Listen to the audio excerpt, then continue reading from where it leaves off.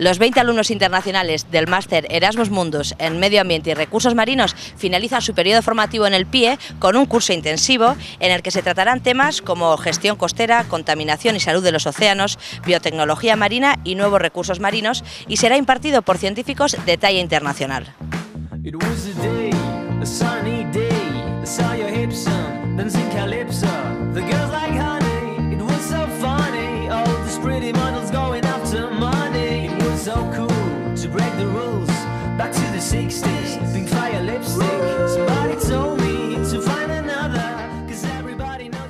Estamos con tres alumnos del PIE, Ander, Emma y Cristina, pero cada uno de ellos se ha dedicado a cosas diferentes durante este año. De hecho, Emma y Ander eh, están haciendo el máster MER, mientras que Cristina hizo el máster CTA hace un par de años ya y ahora está con la tesis doctoral, que parte de la tesis que realizó en el propio máster. Vamos a preguntaros un poco, chicos, para que la gente del pueblo conozca qué es lo que se hace aquí. ¿no? Entonces, queremos saber, por ejemplo, empezamos con vosotros, los del máster MER, eh, ¿en qué consiste el máster? ¿Cómo podríais resumir un poquito? Pues son una serie de asignaturas que hacemos que están relacionadas con pues, cuidado mares, ambiental, eh, toxicología de ríos. Tú, hay 20 asignaturas, eliges 6 e intentas hacer los trabajos lo mejor que puedas con, con vistas a hacer el año que viene una, una, tesis buena. Y pues todavía no sé cuál es porque la decidiré el año que viene. Vale, poco a poco, ¿verdad? Sí, sí, sí. Y cuéntanos, Emma, ¿qué os parece como tal el PIE, el centro? ¿Os ofrece la infraestructura necesaria, las máquinas en los laboratorios y demás? ¿Cómo, cómo te ha parecido? ¿Qué te ha parecido? Sí, no, está increíble. Uh, como es como muy nuevo y uh -huh. hay un montón de laboratorios, hay una vista increíble. Um, nosotros casi todos vivimos aquí en Plencia, en Goles, entonces es muy cerca, no tenemos que coger el metro ni nada. Uh -huh. Y no, está perfecto, hay todo aquí, hay, hay más que necesitamos porque hay laboratorios y si queremos hacer un tesis en el futuro aquí, hay todo. O sea que de alguna manera el material que necesitáis es más de lo que necesitáis, dices, sí, ¿no? Sí, sí. Y de cara incluso al futuro, poder encaminar vuestra tesis, futura tesis doctoral, poder trabajarla aquí. Sí, incluso. Sí. Pues hablando de tesis doctorales, Cris, ¿Tú qué tal? ¿Cómo fue la experiencia primero del máster? Eh, cuéntanos un poco de qué, a qué corresponden las siglas, CTA, y en qué consistió el máster. Pues el máster CTA, eh, las siglas son de contaminación y toxicidad ambientales y es un máster que básicamente, como su nombre indica, se encarga de estudiar la contaminación a diferentes niveles, ya no como en el MER que se centra en recursos marinos, sino que también se, se estudia a nivel, contaminación a nivel de suelo, y, y, bueno, de mar también, que es mi caso, yo empecé con, con, la contaminación del mar ahí. Y bueno, se dan una serie de asignaturas dirigidas tanto a, básicamente a biólogos y a químicos, pues para la evaluación de, de, la, de la, contaminación, pues su análisis, su evaluación, su evaluación por medio de, de animales o bueno, de organismos, centinelas posibles, y ahí es como empezó mi tesis. Empecé a estudiar el muble, que es una especie de centinela que se empezó a utilizar en el País Vasco en la universidad hace un par de años, bueno, hace, unos cuantos años, pues porque, porque vive en sitios muy contaminados y entonces yo ahora estoy evaluando la salud de la costa vasca por medio de ese, de ese organismo. Y bueno, pues Plencia, esta estación permite hacer también experimentos porque tenemos el recurso del mar que podemos acceder a él pues pues por unas tuberías y, y, bueno, permiten la verdad que hacer muchos experimentos y facilitan las cosas que no se podía hacer en la uni, vamos. Por ese contacto directo con el mar, ¿no? No tienes que venir, ir a la playa, coger agua, volver, ir a por el mueble, volver, traerlo al laboratorio. De alguna manera está todo unificado. También lo hacemos. Se hacen estudios de, de campo y en esos estudios se va a diferentes puntos de, pues de nuestra costa y se pescan mubles, pero además también podemos mantenerlos aquí en tanques, en acuarios, porque, podemos, porque tenemos acceso a este agua de mar fácil. Bueno, no sabemos si además del máster tenéis tiempo para alguna otra cosa. Si además podéis ayudaros entre vosotros o contribuir o colaborar en investigaciones que están llevando a cabo otros compañeros. Sí, pues el problema que tenemos es que las, asignaturas no son como en el cole. Tenemos una semana viene un profesor de, de Galicia o algunas veces Inglaterra, eh, alguna asignatura hemos tenido en Nueva Zelanda, entonces vienen para esa semana y todas las clases quedan comprimidas, quedan comprimidas y de 9 de la mañana a 7 de la tarde no, no, tienes, no tienes realmente tiempo para colaborar en el laboratorio. Entonces, colaboraciones en el laboratorio realmente yo al menos no, no, no estoy haciendo ninguna. Lo que, sí que, lo que sí que hacemos de vez en cuando, cuando tenemos alguna semana libre o algunos días libres, pues ir a pescar algunos mubles que son para otras, para otras tesis o lo que sea, o alguna disección también hemos hecho, eh, algún toma de muestras en la playa, pequeñas cositas que, que, pueden facilitar lo de los otros igual. El trabajo a los demás, ¿verdad? Es un poco trabajo en equipo. No es realmente una colaboración, pero, pero bueno, pero, pero ayuda, siempre ayuda. Seguro, Así que... seguro que sí. ¿Vosotras? Sí, también las disecciones, las disecciones. Y, y uh, cuando podemos ayudar, hacemos cosas, pero también a veces es muy intensivo los cursos aquí.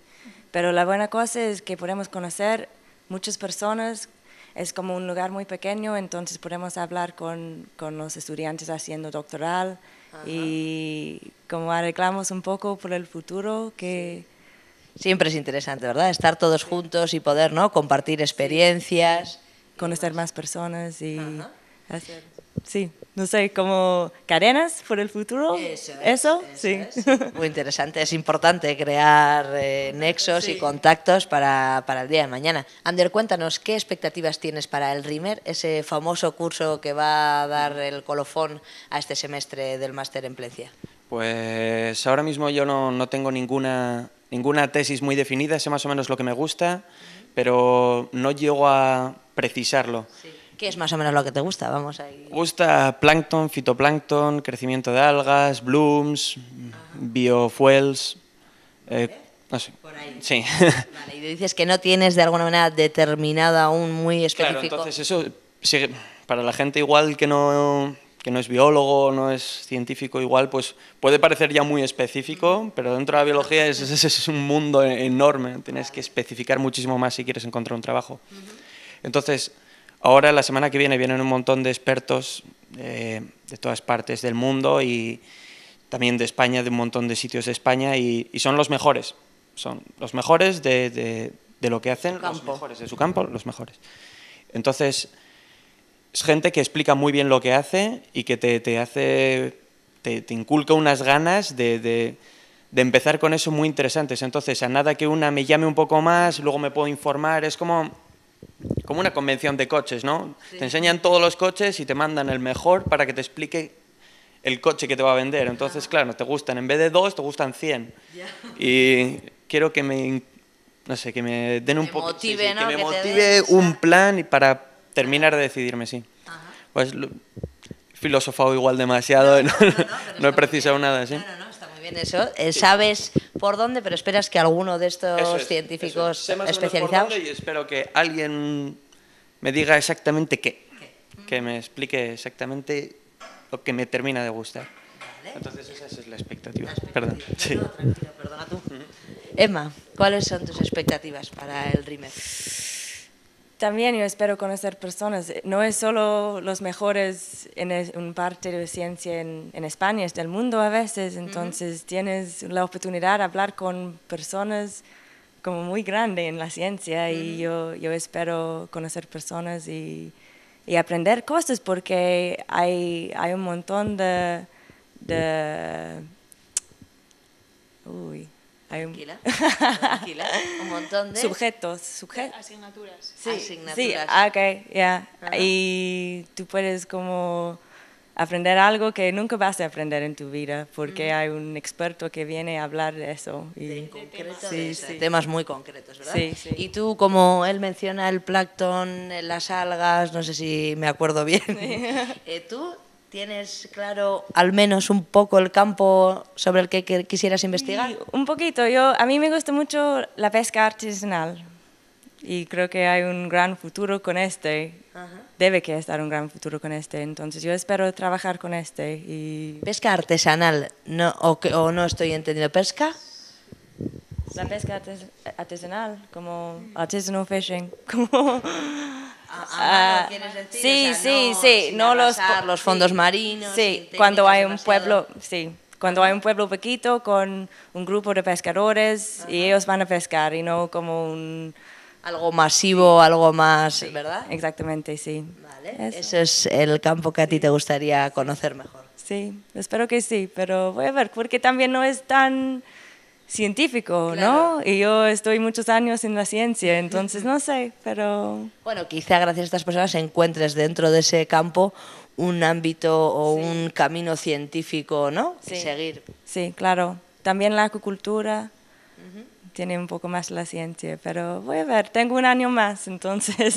Con calma, tienes tiempo aún para decidir. Bueno, y en cuanto al pueblo, ¿qué os ha parecido Plencia? Empiezo con Emma porque ella viene de Inglaterra. ¿De dónde concretamente, Emma? Yo vengo de Birmingham, que es una ciudad bastante grande y aquí estoy muy feliz.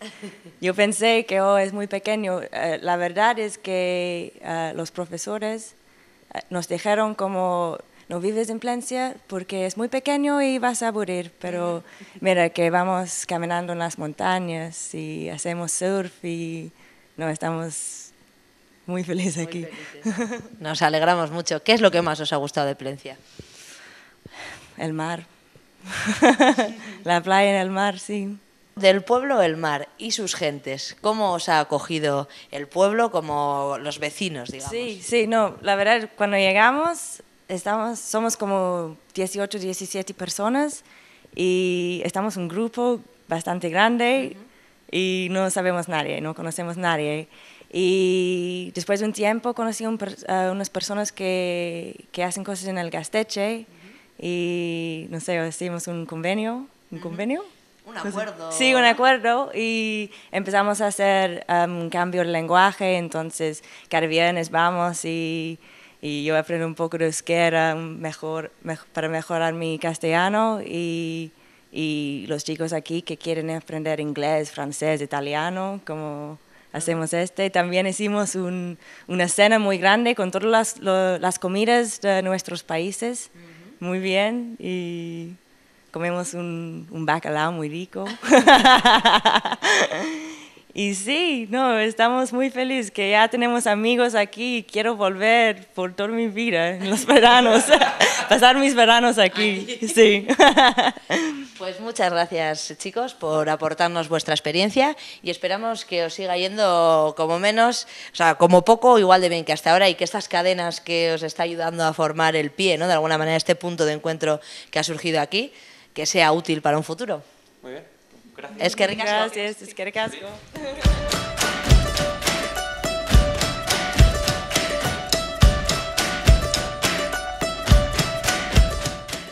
Charlamos con Jonan Mari Gómez, director del PIE, y Manu Soto, subdirector.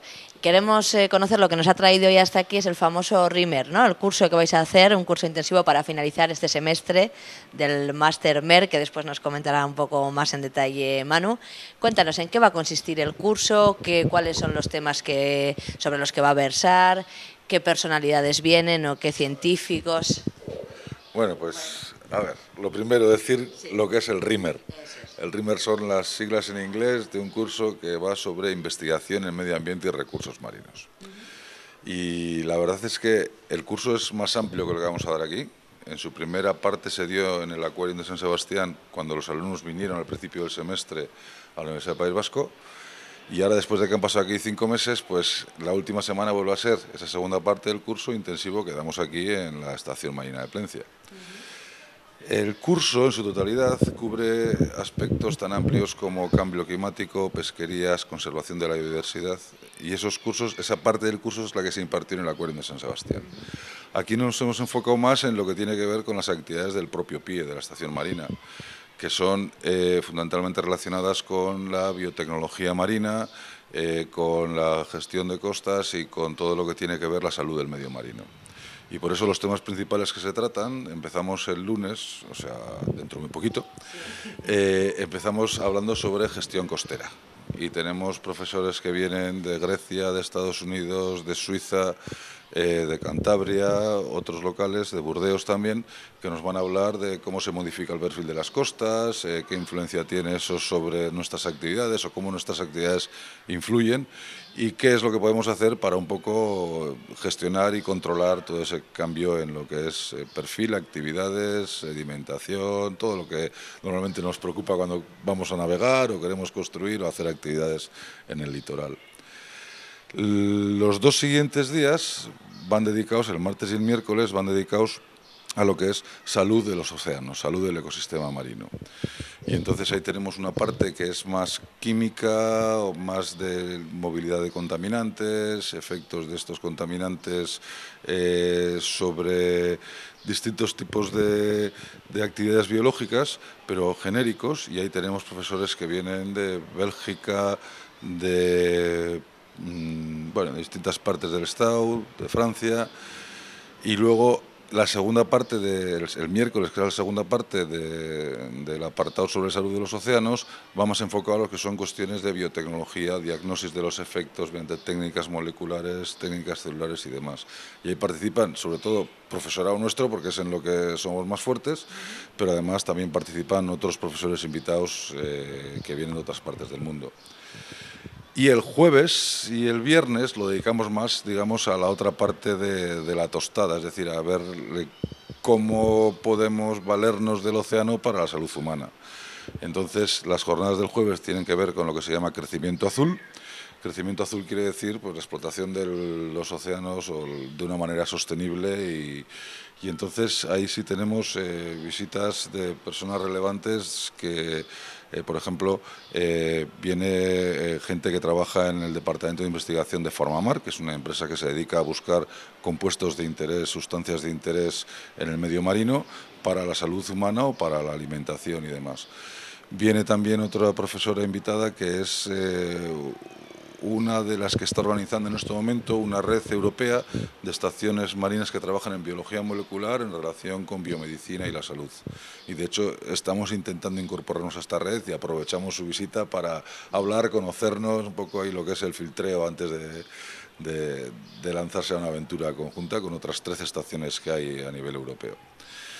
Y, luego el viernes es, digamos, eh, la parte interaccionando las dos cosas en lo que es salud del medio marino y salud desde el océano hacia los humanos, que es lo que tiene que ver con bancos de especímenes ambientales. Los bancos de especímenes ambientales, que aquí estamos desarrollando uno, eh, tienen que ver sobre todo con cómo almacenar, archivar muestras que nos permitan hacer estudios retrospectivos en el futuro sin haber hecho un gran gasto y entonces en lo que se parecen en su, en su estructura es a lo que puede ser un banco de gametos, un banco de embriones en lo que es la tecnología o un archivo de, de biopsias o de patologías de un hospital, pero las muestras que tenemos son muestras de especies de interés en cuanto a ver la calidad del medio marino. Y y eso es una de las partes, es lo que estamos haciendo y quien viene, uno de los que viene a, impartir clases es, eh, es un investigador que gestiona el Banco de Especímenes Ambientales alemán, que es el más importante en Europa, con el que estamos en relación. Y también viene una investigadora de la Universidad de Tronso, que es quien gestiona el máster, eh, perdón, el banco de especímenes marinos que tiene que ver con la conservación y la gestión del medio marino, que es nórdico, el que está en Tronso, en Noruega. Bueno, y además se me olvidó decir que también nos visita como profesor el, quien es el director del Banco de Especímenes Ambientales francés.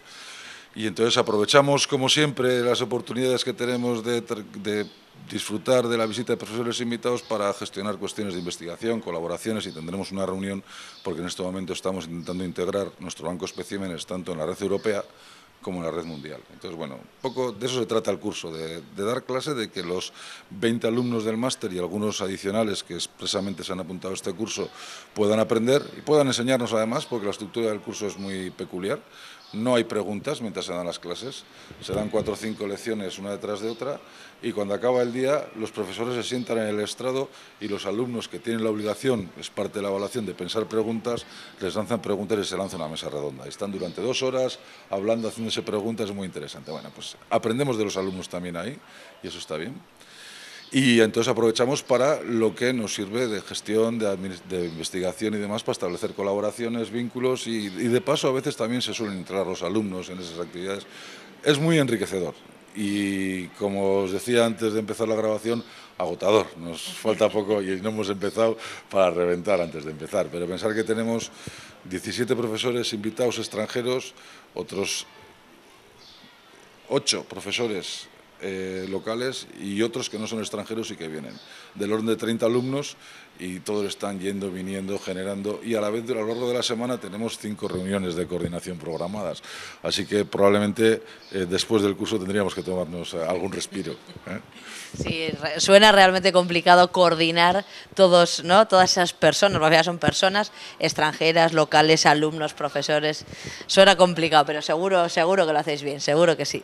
Y queremos conocer ahora un poco mejor, Manu, lo que es el, el máster que están estudiando estos 20 alumnos eh, en Plencia, ya que este es el colofón a este máster. Después comentaremos por qué hay otros alumnos trabajando en el pie, pero coméntanos, ¿en qué consiste el máster del MER? Resumiendo. Sí, es un máster que tiene el label, el distintivo de calidad Erasmus Mundus a nivel europeo y son dos años de curso. Casi todos los másteres normalmente son de un año y en este caso son dos. Y lo que es característico de este máster es la movilidad. Es decir, que los alumnos se tienen que mover entre las universidades que conformamos el consorcio, ¿no? que somos la UPV como coordinadora, está la Universidad de Burdeos, la Universidad de Southampton y ya para el curso que viene se ha incorporado la Universidad de Lieja. O sea, somos cuatro universidades que los alumnos tienen que estar, hacer una ruta, por así decir, un itinerario entre las diferentes, por lo menos en tres universidades eh, del, del, del consorcio. Entonces, normalmente empiezan, suelen empezar, hasta ahora han empezado en Burdeos, luego vienen aquí, todos obligatoriamente tienen que pasar por la UPV el tercer eh, trimestre, que es el, primer semestre del segundo año, irán o a Lieja o a Southampton en algún caso, y en el cuarto semestre, ya al final de, los dos años, van a hacer todos ellos el trabajo de investigación, para luego presentar el, trabajo de investigación en forma de, tesis.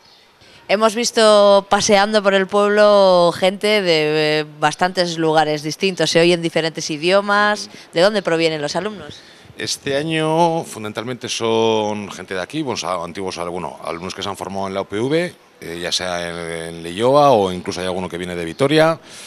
Eh, hay gente que viene de Asturias, Cantabria, etcétera, y luego dentro de lo que son la gente europea son eh, ingleses, irlandeses, franceses, italianos, fundamentalmente. Es un poco el, el espectro de gente que tenemos este año. Y en cuanto a contenido del máster, específico, o sea, sobre qué versa, para que la gente, eso, no somos científicos, ¿eh? Bueno, el, título del, del, máster es Medio Ambiente Marino y Recursos, ¿no? Entonces, un poco sobre todo eso que está relacionado con, con el medio ambiente marino desde diferentes puntos de vista, ¿no? O sea, la, la, aproximación es múltiple, ¿no? Hombre, la parte que conocemos o que controlamos, la parte que somos fuertes, eh, el grupo nuestro de investigación, que es biología celular en toxicología ambiental, pues efecto de los contaminantes sobre fauna marina, por ejemplo, pero hay otros grupos que se dan módulos sobre algas tóxicas o aproximaciones de tipo químico, cuantificar diferentes contaminantes, hidrocarburos, metales pesados. Nosotros relacionamos también efectos con concentración, hay gente que trabaja también con tema de sedimentos, eh, dinámica marina, dinámica costera, pesquerías, incluso hay algún módulo que es de economía de la pesca. Eh, climatología, meteorología, teledetección, es un poco todo lo que hay. Hombre, no todos eligen todo, sino depende un poco del interés que tenga cada uno, del perfil con el que venga, pues irá a elegir una parte más biológica o una parte más química o una parte más eh, de gestión o incluso una parte más física, ¿no? que también hay eh, profesores que, que, imparten módulos que son físicos. Y tenemos entendido que después de este periplo por estas tres universidades, en septiembre de 2014 todos ellos, los 20 alumnos matriculados, deben o tienen que regresar a Plencia a hacer la defensa pública de su tesis. En principio es obligatorio que todos los alumnos, independientemente de donde hayan hecho la tesis de máster, como colofón ya y cierre de la persona del máster, tienen que venir a Plencia durante dos, tres días, dependiendo del número de alumnos que tengamos. En este caso yo creo que serán durante dos días y medio, casi seguro, harán las defensas públicas de las tesis de máster. Pero todos ellos están obligados a venir a Plencia a realizarlo. A nosotros nos llama la curiosidad, lógicamente, saber si alguna de estas tesis eh, tiene como objeto el estudio de nuestro medio más cercano o no. Oye, como viajan por muchos lugares, quizá no tengan por qué eh, elegir eh, trabajar sobre algo de cerca de nuestra costa, digamos. Hombre, eh, este año la gran mayoría de los alumnos están fuera. Los del máster internacional están casi todos fuera haciendo las trabajos de tesis de máster en sitios muy variopintos. Eh, incluso hay gente que ha estado en Madagascar, gente que ha estado en Estados Unidos, en Canadá, eh, en Malta, en diferentes sitios. ¿no? Y ahora concretamente hay dos trabajando en haciendo tesis de investigación de máster aquí, en Plencia. Pero, por pero no hay una relación directa igual con el medio ambiente de, de Plencia, ¿no? Pero el año pasado sí que hubo una tesis de si no recuerdo, el de sedimentología creo que era, ¿no? analizando un poco los sedimentos, la calidad de los sedimentos que había sobre todo en la, en, la ría de Plencia y en, la, en la, bahía de Plencia. algunas cosas sí que hacemos aquí, muestreo de gente que trabaja con algas o... trabajo de campo aquí, ¿qué hacéis, por ejemplo? Hay gente que coge las algas aquí, nosotros para muchos experimentos eh, obtenemos también los mejillones de la zona de Plencia, que los hemos considerado durante muchos años como organismo de referencia, ¿no? no control, porque no hay un control así limpio, limpio, limpio a tope, pero los, el, grupo control con la cual referenciamos las exposiciones a contaminantes los hemos cogido durante muchos años aquí en Plencia. La idea es también seguir trabajando y ahora pues, con otros grupos de investigación desarrollando pues, experiencias piloto, utilizando el estuario y la salida de la red y tal pues, como, como un modelo de estudio para poder entender dinámicas costeras y cosas así, ¿no? a nivel de fitoplancton, zooplancton, eh, otro tipo de invertebrados. Eh, hemos visto en el ratito que llevamos por aquí, hemos visto muchos alumnos trabajando, muchos, más que estos 20 alumnos que están eh, haciendo el MER. ¿Qué otros, ¿Qué otros cursos, qué otra formación se está impartiendo en el pie desde que comenzó su andadura hace menos de un año en realidad? Además del máster internacional MER, que es el que os he dicho que tiene es de dos años de duración y está coordinado por diferentes, conformado por diferentes universidades, tenemos otro máster, que es el máster de contaminación y toxicología ambiental, que es de un año. Eso es de un año y se imparte son única y exclusivamente en la UPV. Y al igual que los alumnos del MER, los alumnos del CTA, como le llamamos así, de Contaminación y Toxicología Ambiental, también eh, siguen los cursos aquí. Algunos de los cursos, sobre todo aquellos, eh, eh, están, son comunes en algún caso. Entonces, eh, como son comunes y tienen que ir los alumnos del MER, que son alumnos internacionales, los alumnos del CTA siguen esos cursos en inglés. Porque claro, no sé si hemos dicho antes que bueno que todos los cursos que del, del, MER son todos todos en inglés. muy bien. ¿Y cómo valoraríais ya, se os ve o hemos podido eh, deducir de la entrevista un poco, ¿no? Hasta arriba de trabajo, hasta arriba. Eso es buena señal, en cierta manera. ¿Cómo valoraríais eh, la andadura del pie en estos 10, 8, 10 meses? Bueno, 8 o 10 meses sobre el papel. Ya, eso. ¿Eh? En la práctica prácticamente damos 4 o 5 meses un poco. Y lo valoramos, yo, cuando me preguntan así en petit comité, ¿qué, ¿qué tal va esto? Digo, mira, va en la dirección en la que tiene que ir, pero va mucho más despacio de lo que tendría que ir por todas las circunstancias que nos rodean. Y entonces la verdad es que resulta más difícil mover una mole como esta a velocidad, eh, a poca velocidad, que romper la inercia y moverla ya a velocidad de crucero. Entonces estamos en esa fase que es bastante cansada, pero que bueno, produce satisfacciones, alegrías y, y tirar para adelante. Y luego se van abriendo cosas, por ejemplo, eh, esta semana mismo casi hemos comprometido que una reunión europea de un grupo importante de 50 o 60 personas se va a realizar aquí en noviembre. Entonces, bueno, van a venir 50 o 60 investigadores de, a reunirse aquí durante dos o tres días para establecer unos criterios. Eso nos sirve a nosotros para eh, enlazar con ellos, pero a la vez es gente que viene al pueblo, que conoce al centro, serán futuras colaboraciones, etcétera. Y además si sale bien, es la primera. Nuestra idea es que al cabo del año haya tres o cuatro de estas. Entonces, bueno, vemos cosas, vamos arrancando, pero la verdad es que no sé si es por la impaciencia, el tiempo que uno está esperando hasta que esto estuviera abierto y en marcha, pero se nos hace poco ralentizado, poco, ¿eh? y, y, cuesta mover, cuesta mover. ¿eh? Pero contentos. Muchos hemos conocido este edificio como el antiguo sanatorio, la utilidad que antes tenía. Y hay mucha gente en el pueblo, pese a que nosotras ya hemos estado aquí de visita un par de veces debido a nuestro trabajo, hay mucha gente que quiere conocerlo. Y tenemos entendido que tenéis intención de hacer unas jornadas de puertas abiertas, ¿verdad, Yonan? Bueno, sí, teníamos intención hace mucho de hacerlas. Lo que pasa que, a decir verdad, desde que se inauguró en julio del año pasado hasta nos incorporamos en septiembre y empezamos a tener problemas constructivos. ¿eh? Hemos estado todavía con los suelos y los techos patas arriba prácticamente hasta febrero y entonces el tiempo ahora estamos en el tiempo de arrancar y, y no hemos tenido opción de hacer eso que queríamos hacer. Y además como habréis visto por el curso y demás, estamos bastante, eso es una actividad, pero tenemos, estamos bastante saturados en esto de movernos poco al principio. Hemos tenido la suerte que desde el Ayuntamiento y la Oficina de Turismo dijeron, bueno, pues oye, mm, nosotros podemos gestionar algo de esto y estamos hablando y parece ser que al final vamos a conseguir organizar unas jornadas de puertas abiertas para visitar el centro y contar qué es lo que hacemos, yo creo que hace primeros de octubre, entre primeros y mediados.